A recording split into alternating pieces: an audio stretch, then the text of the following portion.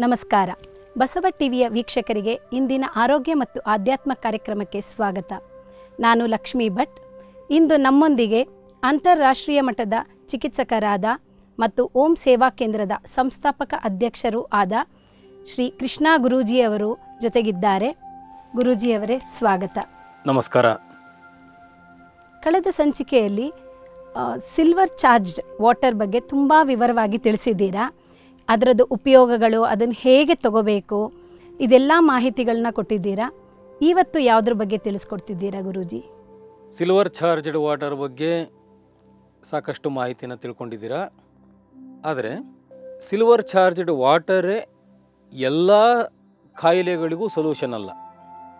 ಡಯಾಫಾರ್ಮಿಂದ ಕೆಳಗಡೆ ಒಪೆಯಿಂದ ಕೆಳಗಡೆ ಇರತಕ್ಕಂತಹ ಯಾವುದೇ ಸಮಸ್ಯೆಗೆ ಸಿಲ್ವರ್ ಚಾರ್ಜ್ಡ್ ವಾಟರ್ ಒಂದು ಸಾಮಾನ್ಯವಾಗಿರ್ತಕ್ಕಂತಹ ಪ್ರಬಲವಾದ ಔಷಧಿಯಾಗಿ ಕೆಲಸ ಮಾಡುತ್ತೆ.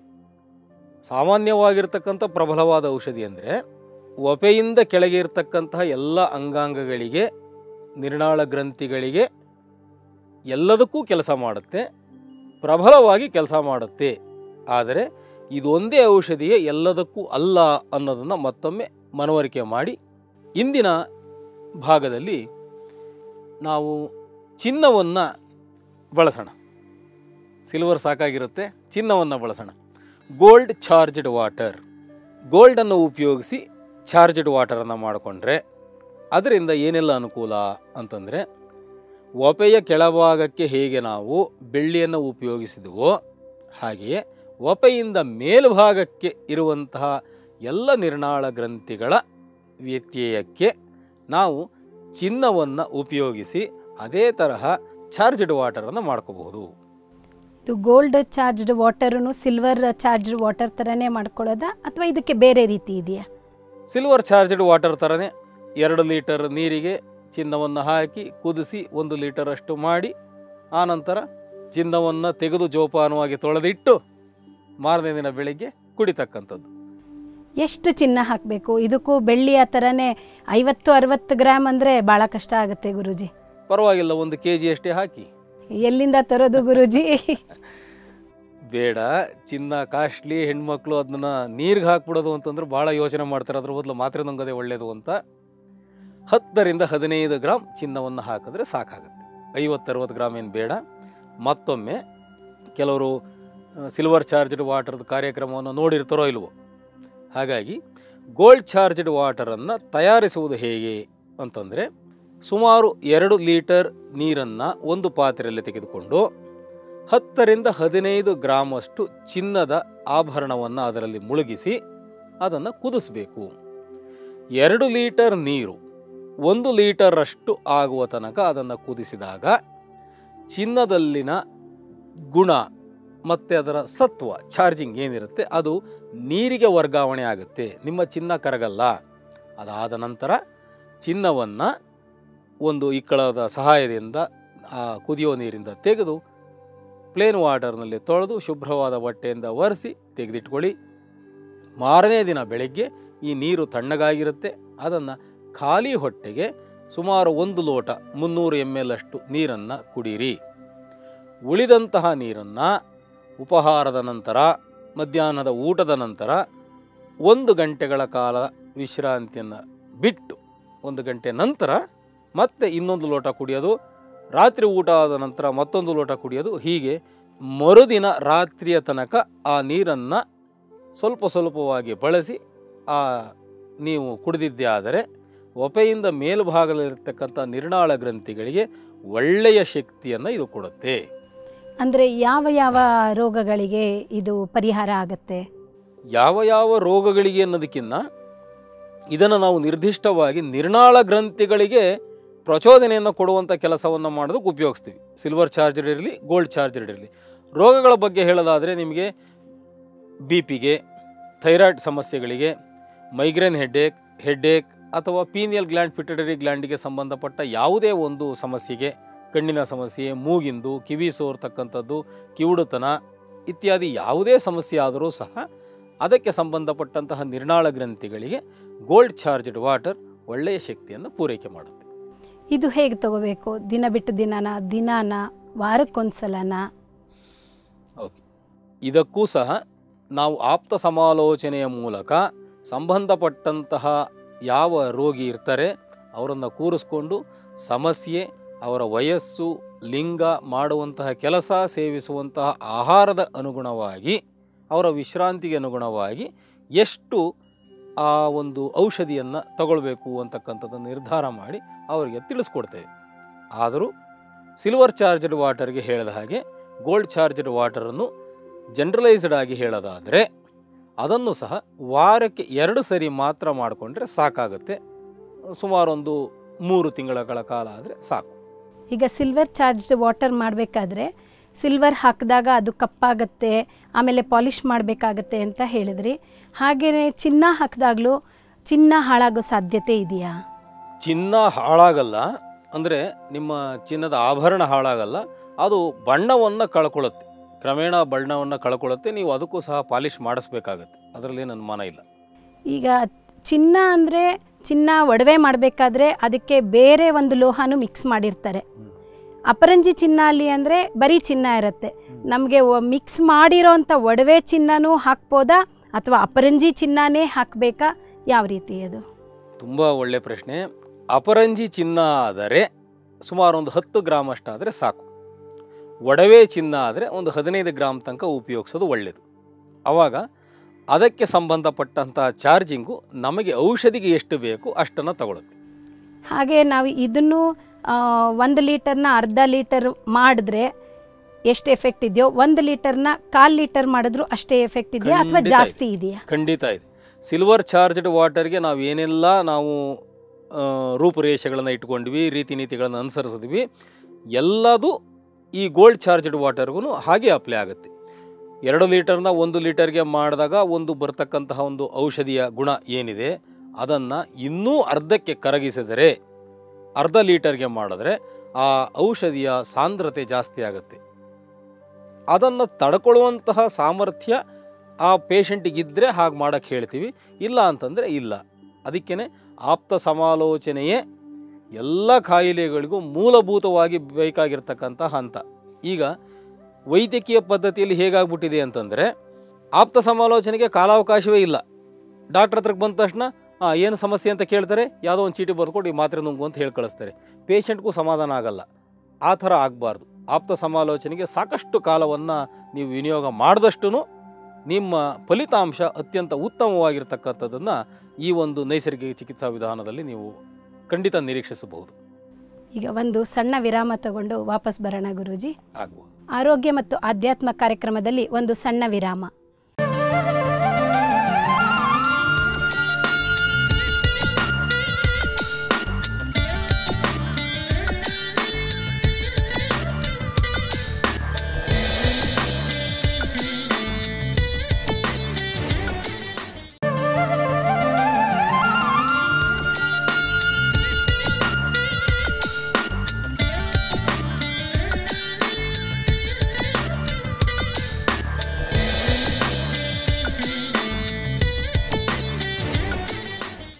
ವಿರಾಮದ ನಂತರ ಆರೋಗ್ಯ ಮತ್ತು ಆಧ್ಯಾತ್ಮ ಕಾರ್ಯಕ್ರಮಕ್ಕೆ ಸ್ವಾಗತ.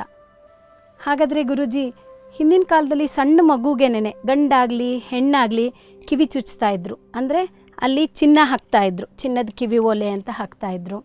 ಮತ್ತು ಹೆಂಗಸರು ಸಣ್ಣ ಚಿನ್ನನಾದರೂ ಮೈ ಮೇಲೆ ಇರಬೇಕು ಅನ್ನೋದಕ್ಕೆ ತಾಳಿ ಧರಿಸ್ತಾ ಇದ್ರು. ಇದೆಲ್ಲ ಇದೇ ಕಾರಣಕ್ಕಿರ್ಬೋದಾ? ಯಾಕಾಗಿರ್ಬೋದು ಇದು? ಖಂಡಿತ. ನೋಡಿ, ಕಿವಿಗೇನೆ ಚುಚ್ತಾ ಇದ್ದಂತಹ ಉದ್ದೇಶ ಏನು ಅಂತಂದರೆ, ಇದು ಒತ್ತಡ ಚಿಕಿತ್ಸೆಯಲ್ಲಿ ನಾವು ಇನ್ನೊಂದು ಸ್ವಲ್ಪ ವಿವರವಾಗಿ ಮಾತಾಡ್ತೀವಿ. ಇವಾಗ ನೀವು ಪ್ರಶ್ನೆಯನ್ನು ಕೇಳಿದಕ್ಕೆ ಕೇಳ್ತಾ ಇರ್ತಕ್ಕಂಥದ್ದು, ಕಿವಿಯ ಈ ಭಾಗ ನೇರವಾಗಿ ಪಿಟುಟರಿ ಗ್ರಂಥಿಗೆ ಸಂಬಂಧಪಟ್ಟಿದ್ದು. ಚುಚ್ಚತಕ್ಕಂಥದ್ದು. ಪಿಟುಟರಿ ಗ್ರಂಥಿ ಯಾವಾಗ ತುಂಬ ಆ್ಯಕ್ಟಿವ್ ಆಗುತ್ತೆ, ಪಿಟುಟರಿ ಗ್ರಂಥಿಯನ್ನು ಕಿಂಗ್ ಆಫ್ ಗ್ಲ್ಯಾಂಡ್ಸ್ ಚಕ್ರಗಳ ರಾಜ ಅಂತ ಹೇಳಿ ಕರಿತೇವೆ. ಆಧ್ಯಾತ್ಮಿಕವಾಗಿ, ವೈಜ್ಞಾನಿಕವಾಗಿ ಪಿಟಟರಿ ಗ್ಲ್ಯಾಂಡನ್ನು ಕಿಂಗ್ ಆಫ್ ಗ್ಲ್ಯಾಂಡ್ಸ್ ಅಂತ ಹೇಳಿ ಕರಿತೀವಿ. ಅದು ಯಾವಾಗ ಆ್ಯಕ್ಟಿವೇಟ್ ಆಗುತ್ತೆ, ರಾಜ ಯಾವಾಗ ಆ್ಯಕ್ಟಿವೇಟ್ ಆಗ್ತಾನೆ, ಇಡೀ ಸಾಮ್ರಾಜ್ಯ ಚೆನ್ನಾಗಿರುತ್ತೆ. ಪಿಟಟರಿ ಗ್ಲ್ಯಾಂಡ್ ಯಾವಾಗ ಮನುಷ್ಯನಿಗೆ ತುಂಬ ಚೆನ್ನಾಗಿ ಕೆಲಸ ಮಾಡ್ತಾ ಇರುತ್ತೆ, ಬಾಕಿ ಎಲ್ಲ ಚಕ್ರಗಳು ಸುಸ್ಥಿತಿಯಲ್ಲಿ ಇರುತ್ತೆ. ಅಂತಹ ಚಕ್ರವನ್ನು ಆ್ಯಕ್ಟಿವೇಟ್ ಮಾಡೋದಕ್ಕೆ ಚಿಕ್ಕ ವಯಸ್ಸಿನಿಂದಲೇ ಶುರುವಾಗಲಿ ಅಂತಕ್ಕಂಥ ಉದ್ದೇಶಕ್ಕೆ ಸಿಂಬಾಲಿಕ್ಕಾಗಿ ಕಿವಿಯನ್ನು ಸೂಸ್ತಾ ಇದ್ದಿದ್ದು. ಅದೇ ರೀತಿಯಲ್ಲಿ ಒಂದು ಸಣ್ಣ ಚಿನ್ನದ ತುಣುಕಾದರೂ ಮೈ ಮೇಲೆ ಇದ್ದರೆ ಅದರ ಒಂದು ವೈಬ್ರೇಷನ್, ಆ ನೀರಿನ ಸ್ನಾನ ಮಾಡ್ತಾ ಇಲ್ಲ, ಆ ಒಂದು ಚಿನ್ನದ ಮೇಲೆ ಹರಿತಕ್ಕಂಥ ನೀರಿನ ಪ್ರಭಾವ ದೇಹಕ್ಕೆ ಮುಟ್ಟಲಿ ಅಂತಕ್ಕಂಥ ಉದ್ದೇಶಕ್ಕೆ ಎಂಥದೇ ಬಡತನ ಇದ್ರೂ ಕೊನೆ ಪಕ್ಷ ತಾಳಿಯನ್ನಾದರೂ ಒಂದು ಸಣ್ಣ ಚಿನ್ನದ ಪೀಸ್ನಲ್ಲಿ ನಾವು ಮಾಡ್ಕೊತಾ ಇದ್ವಿ. ಇದು ಮುಂಚಿನಿಂದ ಬಂದಿರತಕ್ಕಂತಹ ಕ್ರಮ ವೈಜ್ಞಾನಿಕವಾಗೇ ಇದೆ. ಅಂದರೆ ಚಿನ್ನದ ಕಿವಿ ಓಲೆ, ಚಿನ್ನದ ಮೂಗ್ಬಟ್ಟು ಅದರಿಂದ ಉಪಯೋಗ ಅಂತ ಹೇಳ್ತೀರಾ? ಈಗ ಈಗಿನ ಕಾಲದಲ್ಲಿ ಫ್ಯಾಷನ್ ಅನ್ನೋ ಇದರಲ್ಲಿ ಎಲ್ಲ ಪ್ಲಾಸ್ಟಿಕ್ ಮಯ ಆಗೋಗ್ಬಿಟ್ಟಿದೆ. ಅದರಿಂದ ಉಪಯೋಗಕ್ಕಿಂತ ಹಾನಿನೇ ಜಾಸ್ತಿನಾ? ಪ್ಲಾಸ್ಟಿಕ್ ಅಂದರೆ ಏನು? ಡ್ರೈ. ನೀವು ಪ್ಲಾಸ್ಟಿಕ್ ಎಲ್ಲೆಲ್ಲ ಉಪಯೋಗಿಸಿದ್ರೆ ಎಲ್ಲ ಡ್ರೈ. ಮೈ ಮೇಲೆ ಉಪಯೋಗಿಸಿದ್ರೆ ಮೈಯು ಡ್ರೈ. ಚಕ್ರಗಳ ಜಾಗದಲ್ಲಿ ಉಪಯೋಗಿಸಿದ್ರೆ ಚಕ್ರನೂ ಡ್ರೈ. ಅದು ಸುಮ್ಮನೆ ನಿಮ್ಮ ಅನುಕೂಲಕ್ಕೋಗಿ ಮಾಡಿಕೊಂಡಿರ್ತಕ್ಕಂಥದ್ದೇ ವಿನಃ ಅದರಿಂದ ಯಾವುದೇ ಪ್ರಯೋಜನ ಇಲ್ಲ. ಅದು ದೇಹಕ್ಕೂ ಹಾನಿಕರ ದೇಶಕ್ಕೂ ಹಾನಿಕರ ಪರಿಸರಕ್ಕೂ ಹಾನಿಕರ. ಅದು ನಮ್ಮ ಹೀಲಿಂಗಿನ ವ್ಯಾಪ್ತಿಯಲ್ಲಿ ಬರತಕ್ಕಂಥ ವಸ್ತುವೇ ಅಲ್ಲ. ನಮ್ಮ ಸಂಸ್ಕೃತಿನೇ ಅಲ್ಲ ಖಂಡಿತ ಖಂಡಿತ ಅಲ್ಲ. ಅಂದರೆ ಈಗ ದೇಹದ ಮೇಲಿನ ಭಾಗಕ್ಕೆ ಗೋಲ್ಡ್ ಚಾರ್ಜ್ಡ್ ವಾಟರ್ ದೇಹದ ಕೆಳಭಾಗಕ್ಕೆ ಸಿಲ್ವರ್ ಚಾರ್ಜ್ಡ್ ವಾಟರ್ ಅಂತ ಹೇಳ್ತೀರಾ? ಈಗ ನನಗೆ ಕೆಳಭಾಗದಲ್ಲೂ ಸ್ವಲ್ಪ ಸಮಸ್ಯೆ ಇದೆ ಮೇಲ್ಭಾಗದಲ್ಲೂ ಸ್ವಲ್ಪ ಸಮಸ್ಯೆ ಇದೆ ಅಂತ ಹೇಳಿದಾಗ ನಾವು ಅದೆರಡು ಕಾಂಬಿನೇಷನ್ ಮಾಡಿ ನಾವು ತಗೊಳ್ಬೋದಾ? ಒಟ್ಟಿಗೆ ಸೇರಿಸಿ ಸಿಲ್ವರ್ ಆ್ಯಂಡ್ ಗೋಲ್ಡ್ ಕುದಿಸಿ ಮಾಡಬಹುದಾ? ಹೇಗೆ ಮಾಡ್ಬೋದು ಗುರೂಜಿ? ನೋಡಿ, ನಿಮ್ಮ ಪ್ರಶ್ನೆಯಲ್ಲಿಯೇ ಉತ್ತರ ಇದೆ. ಇಂತಹ ಒಂದು ವಿಚಾರಗಳು ವೀಕ್ಷಕರಿಗೆ ಬರಬೇಕು ಅನ್ನೋ ಉದ್ದೇಶದಿಂದಲೇ ಈ ಒಂದು ನಾನು ವಿಷಯವನ್ನು ತಗೊಂಡಿದ್ದು. ತಲೆನೋವು ಇದೆ, ಕಾಲ್ನೋವು ಇದೆ ಅಂದರೆ ಎರಡಕ್ಕೂ ಪ್ರತ್ಯೇಕವಾಗಿ ಮಾತ್ರೆ ಅಂತೂ ಬರ್ಕೊಡ್ತಾರಾ? ಆ ಮಾತ್ರೆಯನ್ನು ನೀವು ತಲೆನೋವಿಗೆ ನುಂಗಿ ಎರಡು ಗಂಟೆಗಳ ಕಾಲ ಬಿಟ್ಟು ಕಾಲ್ನೋವಿಗೆ ಅಂತ ಮಾತ್ರೆ ನುಂಗ್ತೀರಾ? ಇಲ್ಲ ತಾನೆ, ಎರಡು ಮಾತ್ರೆನೂ ಒಟ್ಟಿಗೆ ನುಂಗ್ತೀರಾ? ಅದು ಜೀರ್ಣಾಂಗಗಳಿಗೆ ಹೋಗುತ್ತೆ. ಅದರಲ್ಲಿರ್ತಕ್ಕಂತಹ ರಾಸಾಯನಿಕ ಸಂಯುಕ್ತಗಳು ಯಾವ ಯಾವ ಕೆಲಸವನ್ನು ಮಾಡಬೇಕೋ ತಮ್ಮ ತಮ್ಮ ಕೆಲಸವನ್ನು ತಾವಾಗೆ ಮಾಡುತ್ತೆ. ಹಾಗೆಯೇ ಡಯಾಫಾಮಿಂದ ಮೇಲೆ ಕೆಳಗೆ ಇರತಕ್ಕಂತಹ ಸಮಸ್ಯೆಗಳು ಏಕಕಾಲಕ್ಕೆ ಇದ್ದಂಥ ಪಕ್ಷದಲ್ಲಿ ಸಿಲ್ವರ್ ಪ್ಲಸ್ ಗೋಲ್ಡ್ ಚಾರ್ಜ್ಡ್ ವಾಟರನ್ನು ನೀವು ಮಾಡಿಕೊಂಡು ಕುಡಿಯಬಹುದು. ಆದರೆ ಅಂತಹ ಸಂದರ್ಭದಲ್ಲೂ ಐವತ್ತರಿಂದ ಎಪ್ಪತ್ತು ಗ್ರಾಮ್ ಚಿನ್ ಬೆಳ್ಳಿ, ಹತ್ತರಿಂದ ಹದಿನೈದು ಗ್ರಾಮ್ ಚಿನ್ನವನ್ನು ಒಟ್ಟಿಗೆ ಹಾಕಿ ಕುದಿಸ್ಬೇಕು. ಎರಡು ಲೀಟರ್ನನ್ನು ಒಂದು ಲೀಟರ್ ಮಾಡ್ತೀರಾ? ಆ ಒಂದು ಲೀಟರ್ ಆದಮೇಲೆ ನಿಮ್ಮ ಯಾವ ಆಭರಣಗಳಿರುತ್ತೋ ಅದನ್ನು ತೆಗೆದಿಟ್ಕೊತೀರಾ? ಅದಾದಮೇಲೆ ಬೆಳಗ್ಗೆ ಖಾಲಿ ಹೊಟ್ಟೆಗೆ ಆ ಚಾರ್ಜ್ಡ್ ವಾಟರನ್ನು ಕುಡಿತೀರಾ? ಮತ್ತೊಮ್ಮೆ ನಿಮ್ಮ ಗಮನಕ್ಕೆ ಈ ರೀತಿಯಾದಂತಹ ಚಾರ್ಜ್ಡ್ ವಾಟರ್ ಯಾವುದೇ ಔಷಧಿ ಮಾತ್ರೆಗಿಂತ ಅತ್ಯಂತ ದುಬಾರಿ ಆಗಿರ್ತಕ್ಕಂಥ ಔಷಧಿ. ಹೌದು. ನಿಮ್ಮ ಸ್ವಂತ ಒಡವೆಗಳಿಂದ ತಯಾರಿಸಿದಂತಹ ಔಷಧಿ. ಒಂದು ಡ್ರಾಪನ್ನು ವೇಸ್ಟ್ ಮಾಡೋಂಗಿಲ್ಲ. ಅಕಸ್ಮಾತ್ ಏನೋ ಇಷ್ಟು ಸಾಕು ಇನ್ನೊಂದು ಅರ್ಧ ಲೋಟ ಉಳಿತು ಅಂತ ಅಂದ್ಬಿಟ್ಟು ಬಚ್ಚಲಿಗೆ ಹಾಕಿದ್ರೆ ಬಚ್ಚಲು ಚಕ್ರಗಳು ಚಾರ್ಜ್ ಆಗುತ್ತೆ. ಹಾಗೆ ಮಾಡಬಾರ್ದು. Gold and silver charged water ಅಂತ ಆಗುತ್ತೆ ಇದು. ಹೌದು ಹೌದು. ಹೌದು. ಇದೇ ಕಾರಣದಿಂದ ಹಿಂದೆ ಪೂರ್ವಿಕರೆಲ್ಲ ಕಿವಿಗೆ ಓಲೆ ಕೈಗೆ ಚಿನ್ನದ ಬಳೆ ಮತ್ತೆ ಕಾಲಿಗೆ, ಮತ್ತು ಸೊಂಟಕ್ಕೆಲ್ಲ ಬೆಳ್ಳಿ, ಈ ರೀತಿ ದೇಹದ ಕೆಳಭಾಗಕ್ಕೆ ಬೆಳ್ಳಿ, ದೇಹದ ಮೇಲ್ಭಾಗದಲ್ಲಿ ಚಿನ್ನ ಅಂತ ಮಾಡಿರಬಹುದಾ ಗುರೂಜಿ? ಖಂಡಿತ ಹೌದು. ಅದೇ ವಿಜ್ಞಾನ. ನಾವು ವಿಜ್ಞಾನವನ್ನು ಪ್ರತ್ಯೇಕವಾಗಿ ನೋಡುವಂತಹ ಒಂದು ಪ್ರವೃತ್ತಿಯನ್ನು ಹೊಂದಿದ್ದೇವೆ.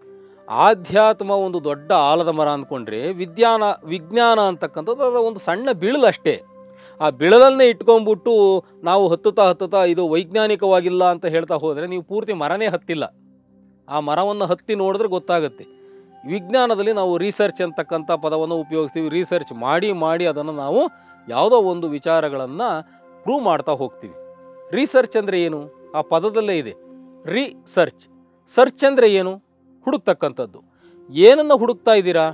ಹುಡುಕ್ತಾ ಇದ್ದೀರಾ ಅಂದರೆ ಒಂದು ಅರ್ಥ ಏನು? ನೀವು ಆಲ್ರೆಡಿ ಏನನ್ನು ಕಳ್ಕೊಂಡಿದ್ದೀರಾ ಅಂತ. ಆಲ್ರೆಡಿ ಏನೋ ಕಳ್ಕೊಂಡಿದ್ದೀರಾ ಅಂದರೆ ಅರ್ಥ ಏನು? ಏನೋ ಮುಂಚೆ ಇತ್ತು ಅಂತ. ಏನೋ ಇತ್ತು, ಅದು ಈಗ ಇಲ್ಲ. ಇಲ್ಲದೇ ಇರೋದ್ರಿಂದ ಅದನ್ನು ನೀವು ಹುಡುಕ್ತಾ ಇದ್ದೀರಾ? ಅದು ನಿಮ್ಮ ವ್ಯಾಪ್ತಿಗೆ ಸಿಗ್ತಾ ಇಲ್ಲ. ಅದು ಸಿಗೋ ತನಕ ಪುನಃ ಪುನಃ ಪುನಃ ಹುಡುಕ್ತಾ ಇದ್ದರೆ ಅದು ರಿಸರ್ಚ್ ಆಗಿದೆ. ಅದು ಇನ್ಯಾವುದೋ ರೂಪದಲ್ಲಿ ಅಥವಾ ಅದೇ ರೂಪದಲ್ಲಿ ನಿಮಗೆ ಮತ್ತೆ ದೊರಕಬಹುದು. ದೊರಕಿದಾಗ ಅದಕ್ಕೆ ನಿಮ್ಮದೇ ಆದಂಥ ಒಂದು ವಿಶ್ಲೇಷಣೆಯನ್ನು ಕೊಟ್ಟು ಇದು ವೈಜ್ಞಾನಿಕವಾಗಿ ಇದನ್ನು ಒಪ್ಕೋಬಹುದು ಅಂತ ಹೇಳಿ ನೀವು ಒಂದು ಹಣೆಪಟ್ಟಿಯನ್ನು ಕೊಡ್ತೀರಾ? ಅವಾಗ ಅದನ್ನು ಯುವಜನಾಂಗ ಒಪ್ತಾ ಇದೆ. ಆಧ್ಯಾತ್ಮ ಇದನ್ನು ಸಾವಿರಾರು ವರ್ಷಗಳ ಹಿಂದೆಯೇ ಅದನ್ನು ಪ್ರೂವ್ ಮಾಡಿದೆ. ನಿಮಗೆ ಈಗ ಪ್ರೂಫ್ಗೋಸ್ಕರವಾಗಿ ನೀವು ವಿಜ್ಞಾನಕ್ಕೆ ಜೋತು ಬಿದ್ದಿದ್ದೀರಿ ವಿನಃ ಆಧ್ಯಾತ್ಮ ಬಿಟ್ಟು ವಿಜ್ಞಾನ ಇರೋದಕ್ಕೆ ಸಾಧ್ಯವೇ ಇಲ್ಲ. ಈಗ ಪಾಶ್ಚಾತ್ಯ ಪ್ರಭಾವದಿಂದ ನಾವು ಒಂದೊಂದೇ ಎಲ್ಲಾನು ಬಿಟ್ಕೊಂಡು ಬರ್ತಾ ಇದ್ದೀವಿ ಅಂತ ಅನಿಸುತ್ತೆ. ಅದರ ಪ್ರಭಾವನೇ ಜಾಸ್ತಿ ಆಗಿದೆ. ಈಗಿನ ಜನಾಂಗಕ್ಕೆ ಇದರಿಂದ ಉಪಯೋಗಗಳು ಏನೇನು ಅಂತ ವಿವರವಾಗಿ ತಿಳ್ಕೊಂಡಾಗ ಒಂದು ಸ್ವಲ್ಪ ನಮ್ಮ ಸಂಸ್ಕೃತಿಗೆ ಅಂಟ್ಕೊಳ್ಬೋದು ಅಂತ ಅನಿಸುತ್ತೆ ಗುರೂಜಿ. ನೋಡಿ, ಇದು ಹೇಗಾಗ್ತಾ ಇದೆ ಅಂತಂದರೆ, ಹಿಂದಿನ ಕಾಲದಲ್ಲಿ ಒಂದೊಂದು ಸಂಸಾರಕ್ಕೆ ತನ್ನದೇ ಆದಂಥ ಒಂದು ಬಿಗಿತ ಇತ್ತು. ಹಿರಿಯರು ಈ ಥರದನ್ನು ಮಾಡಬೇಕು, ಈ ಥರದನ್ನು ಮಾಡಬಾರ್ದು ಅಂದ್ಬಿಟ್ಟು ಮಕ್ಕಳು ಮೊಮ್ಮಕ್ಕಳಿಗೆ ತಿಳಿಸಿಕೊಡ್ತಾ ಇದ್ರು. ಅವರು ಅದನ್ನು ಅನುಸರಿಸ್ಕೊಂಡು ಹೋಗ್ತಾ ಇದ್ರು.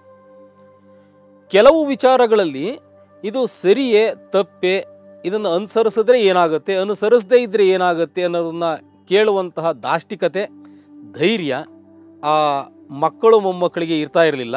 ಹಾಗಾಗಿ ಅವ್ರು ಕೇಳ್ತಾ ಇರಲಿಲ್ಲ. ಈ ವಿಚಾರವನ್ನು ಅವ್ರಿಗೇನು ಹೇಳ್ಕೊಡೋದು ತಾನಾಗೆ ಗೊತ್ತಾಗುತ್ತೆ ಅಂತಂದ್ಬಿಟ್ಟು ಹಿರಿಯರು ತಾವಾಗೇ ಹೋಗಿ ಅವ್ರಿಗೆ ಹೇಳ್ತಾ ಇರಲಿಲ್ಲ.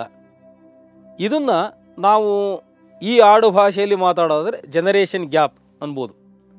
ಇಂತಹ ಒಂದು ಗ್ಯಾಪು ಜಾಸ್ತಿ ಆಗ್ತಾ ಆಗ್ತಾ ಹೋಗಿ ಕೊನೆಗೆ ನಮಗೆ ಅದಕ್ಕೆ ವಿವರಣೆ ಗೊತ್ತಿರಲ್ಲ, ನಾವು ಅದನ್ನು ಅನುಸರಿಸಲ್ಲ. ಆ ಹಿರಿಯ ತಲೆಗಳು ಹೋದ ಮೇಲೆ ಅಂತಹ ಸಂಪ್ರದಾಯಗಳು, ಅನುಸರಣೆಗಳು ಅವರಿಂದನೇ ಹೋಗ್ತಾ ಬಂತು. ಹೀಗಾಗಿ ನಾವು ಸಾಕಷ್ಟು ವಿಚಾರಗಳನ್ನು ಕಳ್ಕೊಂಡಿದ್ದೀವಿ. ಈಗ ಅದನ್ನೆಲ್ಲ ಪುಸ್ತಕ ಓದಿ ತಿಳ್ಕೊಬೇಕಾಗಿದೆ. ಅದರಿಂದ ಇನ್ನು ಅಳವಡಿಸ್ಕೊಳ್ಬೇಕು. ನಮ್ಮ ಜೀವನದಲ್ಲಿ ಇವಾಗ ನಾವು ಹಿಂದಿನ ಪದ್ಧತಿಗಳನ್ನ ಅಳವಡಿಸ್ಕೊಳ್ಬೇಕು ಅಂತ ಹೇಳ್ತೀರಾ ನೀವು? ಖಂಡಿತ ಖಂಡಿತ. ಈಗ ಒಂದು ಸಣ್ಣ ವಿರಾಮ ತಗೊಂಡು ವಾಪಸ್ ಬರೋಣ ಗುರೂಜಿ. ಆರೋಗ್ಯ ಮತ್ತು ಆಧ್ಯಾತ್ಮ ಕಾರ್ಯಕ್ರಮದಲ್ಲಿ ಒಂದು ಸಣ್ಣ ವಿರಾಮ.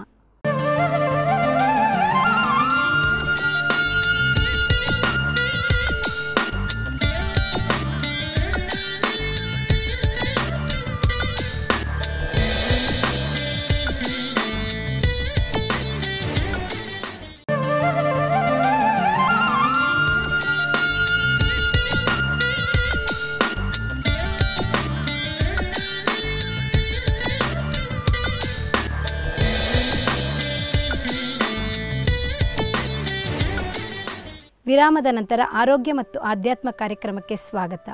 ಗುರುಜಿ, ಸಂಸ್ಕೃತಿಯ ಬಗ್ಗೆ ಹೇಳ್ತಾ ಇದ್ರಿ, ಅದನ್ನು ಮುಂದುವರಿಸಿ ಗುರುಜಿ. ಇಲ್ಲಿ ನಾನು ಏನನ್ನ ಒಟ್ಟಾರೆ ಹೇಳಕ್ಕೆ ಹೋಗಿದ್ದು ಅಂತಂದರೆ, ತಲೆ ತಲಾಂತರದಿಂದ ಯಾವುದೋ ರೀತಿಯಾದಂಥ ಕೆಲವು ಪದ್ಧತಿಗಳನ್ನು, ಸಂಸ್ಕಾರ ಸಂಸ್ಕೃತಿಗಳನ್ನು ನಾವು ಅಭ್ಯಾಸ ಮಾಡ್ತಾ ಇದ್ದೇವೆ, ಅದನ್ನು ಅನುಸರಿಸ್ತಾ ಬರ್ತಾ ಇದ್ದೇವೆ. ಅದು ನಮಗೆ ನಮ್ಮ ಪೂರ್ವಜರಿಂದ ಇಲ್ಲಿಯ ತನಕ ಒಗ್ಗಿಕೊಂಡಿರುವಂತಹ ಒಂದು ಪದ್ಧತಿ. ಅದನ್ನು ಬಿಟ್ಟು ಹೋಲಿಕೆಯನ್ನು ಮಾಡಿಕೊಂಡು ಹೋದರೇ ಆರೋಗ್ಯ ಹಾಳಾಗುತ್ತೆ. ಇದನ್ನು ನಾವು ಹಿಂದಿನ ಕಂತುಗಳಲ್ಲಿ ಮಾತಾಡಿದ್ದೇವೆ. ಹೋಲಿಕೆ ಬೇಡ. ಹೋಲಿಕೆಯಿಂದಲೇ ಹಾಳಾಗೋದು.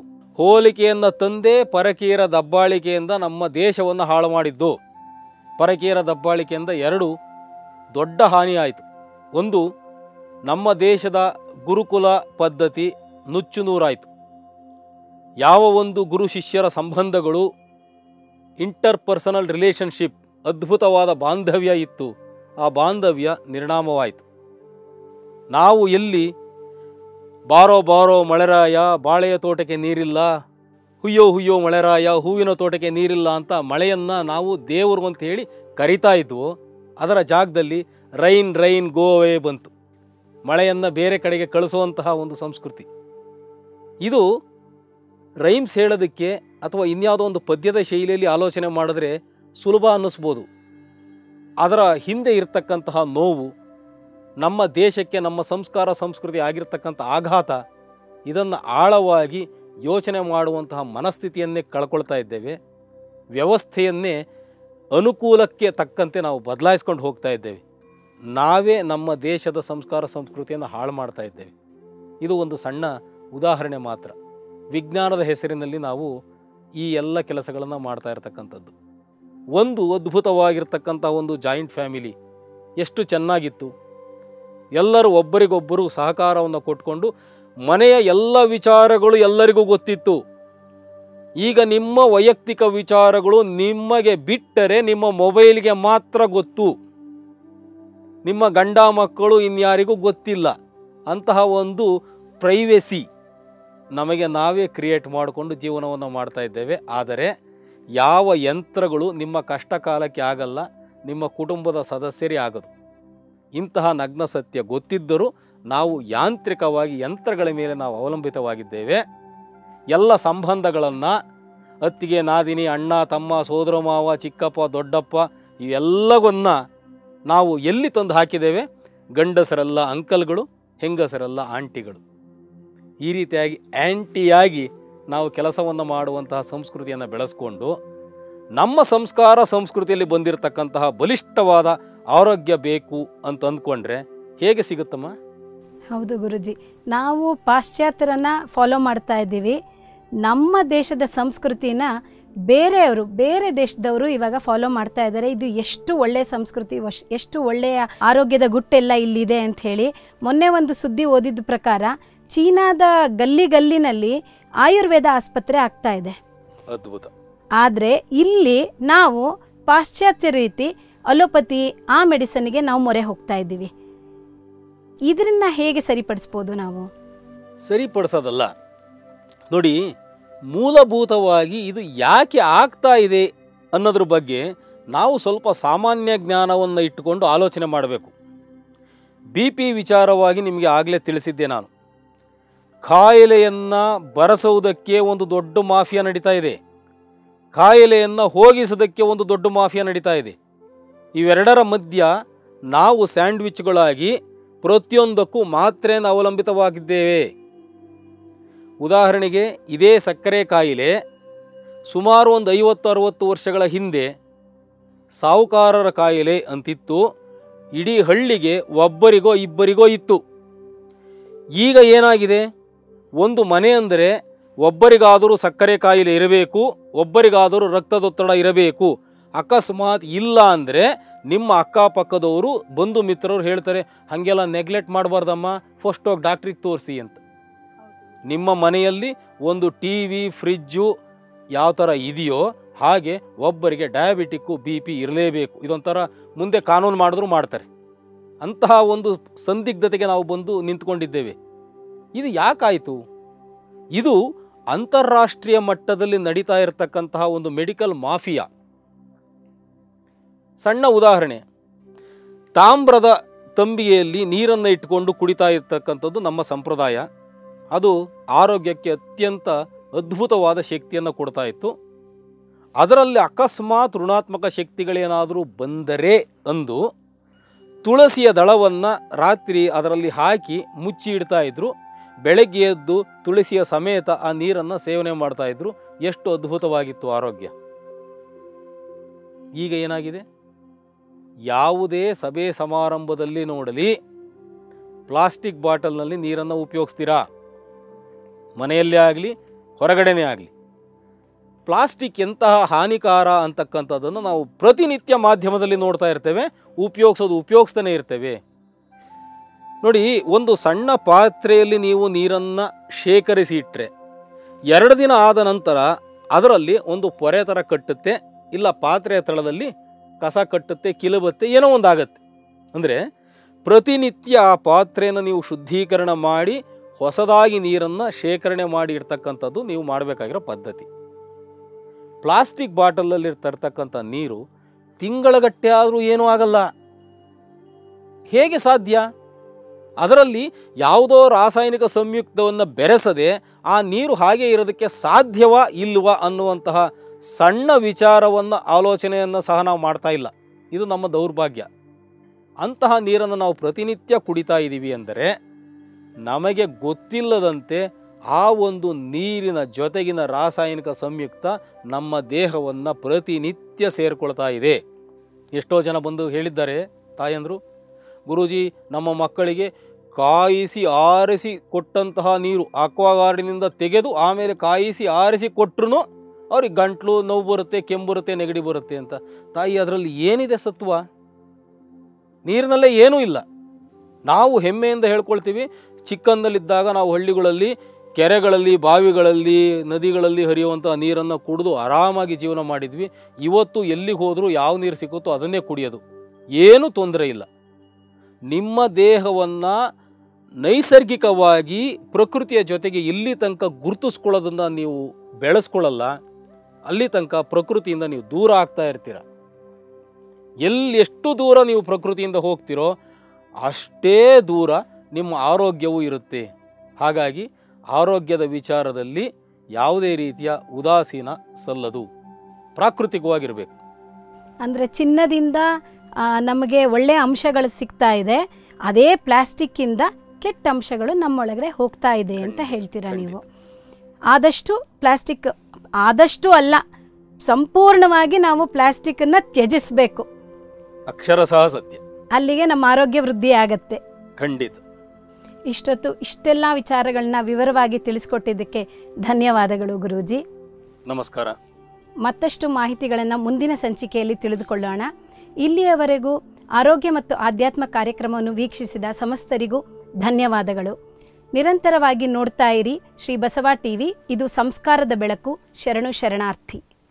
ಶ್ರೀಕೃಷ್ಣ ಗುರುಜಿ, ಅಂತಾರಾಷ್ಟ್ರೀಯ ಮಟ್ಟದ ಚಿಕಿತ್ಸಕರು ಹಾಗೂ ಸಂಸ್ಥಾಪಕ ಅಧ್ಯಕ್ಷರು, ಓಂ ಸೇವಾ ಕೇಂದ್ರ, ವಿಳಾಸ ಓಂ ಸೇವಾ ಕೇಂದ್ರ, ನಂಬರ್ ಎಂಬತ್ಮೂರು, ಮೂರನೇ A main, syndicate bank colony, Herohalli ಮುಖ್ಯ ರಸ್ತೆ ವಿಶ್ವನಿಧಂ ಪೋಸ್ಟ್, ಬೆಂಗಳೂರು ಐದು ಆರು ಸೊನ್ನೆ ಸೊನ್ನೆ ಒಂಬತ್ತು ಒಂದು. ದೂರವಾಣಿ ಸಂಖ್ಯೆಗಳು ಒಂಬತ್ತು ನಾಲ್ಕು ಎಂಟು, ಮೂರು ಒಂದು ಎಂಟು, ಒಂದು ಒಂದು ಐದು ಐದು ಮತ್ತು ಸೊನ್ನೆ ಎಂಟು ಸೊನ್ನೆ, ಎರಡು ಮೂರು ಎರಡು, ನಾಲ್ಕು ಐದು ಐದು ಐದು ಐದು.